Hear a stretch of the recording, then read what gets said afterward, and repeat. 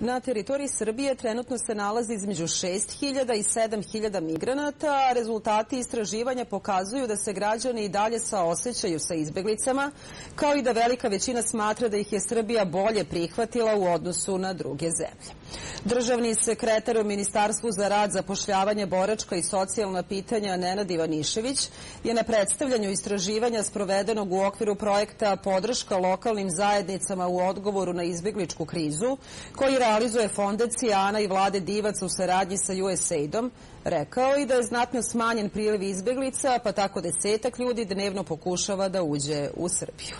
Prošle nedelje rekli negde oko 980 maloletnih migranata bez pratnje i negde oko 3000 dece. Kad govorimo o dece, govorimo od 0 do 18 godina, tako karakterišemo decu. Dakle, većina ljudi je u prihvatnim centrima, ono što jeste karakteristika jeste znatno smanjen priliv ljudi, dakle desetak ljudi dnevno koji pokušavaju da dođu, za sve ima mesta koji žele da budu u prihvatnim centrima u momentu i ima mesta i u Preševu i drugim prihvatnim centrima i evo ja koristim priliku da se zahvalim i fondacija Nevladivac i na pomoći u Vranju, ali i u Tutinu, što mislim da je svako veoma važno, gde se jedan ozbiljan objekat